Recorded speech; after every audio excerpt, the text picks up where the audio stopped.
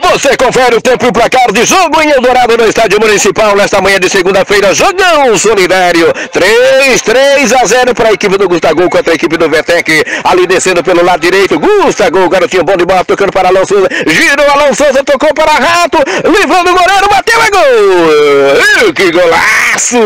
Gol!